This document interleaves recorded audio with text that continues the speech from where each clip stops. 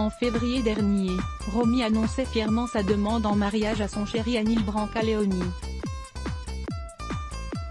Le jour de la Saint-Valentin, la jolie blonde avait en effet décidé de poser un genou à terre pour demander à celui qui partage sa vie depuis plusieurs années, de l'épouser. La vidéo de cette attendrissante demande avait d'ailleurs littéralement fait le buzz sur les réseaux sociaux.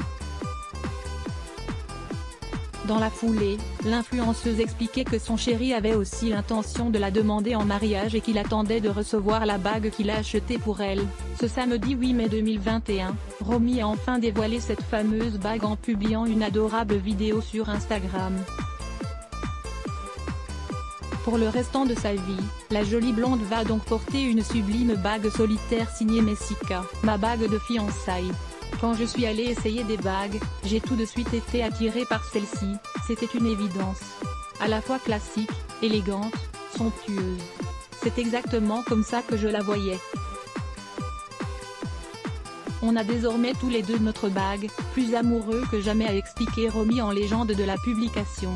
Le fameux solitaire Emlove en or blanc et diamant est à retrouver ici sur le site de la célèbre maison de joaillerie. Découvrez également ci-dessous, notre sélection de bagues de fiançailles à moins de 300 euros. Digidi budget dataïd égale 60993D96 DFI 996001451 b 0 à supérieur à Elisabeth Salalir au Block Test. Why